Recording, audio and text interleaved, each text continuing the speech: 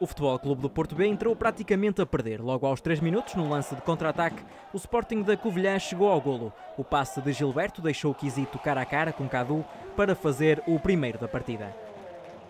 Mau início para os Dragões, mas a resposta chegou rápido. À passagem do minuto 12, Cayembe, que atuou como lateral esquerdo, foi derrubado dentro da área e o árbitro André Narciso não teve dúvidas em assinalar penalti.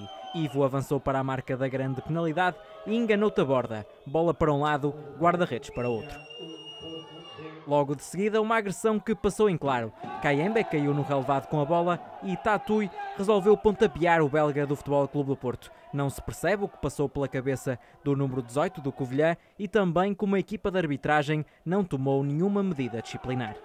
Aos 24 minutos, Gonçalo Paciência trabalhou bem dentro da área, mas Taborda defendeu para canto e Quisito continuou a incomodar a defesa portista. O ex-leixões de apenas 20 anos foi sempre uma flecha no ataque serrano. Aqui, Cadu resolveu o problema. Mas na última jogada da primeira parte, o guarda-redes portista não conseguiu evitar o golo. Passividade na defesa e Quisito apareceu solto na pequena área para devolver a liderança no marcador ao Covilhã.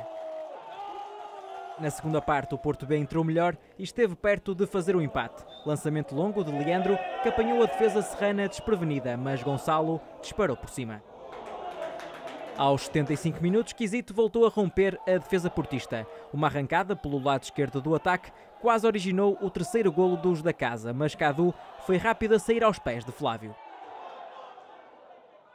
Já a caminhar para o apito final, Pité, lançado no decorrer da segunda parte, deu de calcanhar a oportunidade de fazer o um empate a Gonçalo, mas Taborda venceu o duelo. Em tempo de compensação, a velocidade de Quisito levou à expulsão de Leandro. O médio portista viu Quisito a fugir e resolveu travá-lo. Agarrou o avançado dos serranos e por isso viu o cartão vermelho. Na sequência da falta, Cadu voltou a ser chamado a intervir. Com esta derrota na Covilhã por 2-1, o Porto B continua à procura dos primeiros pontos na Segunda Liga.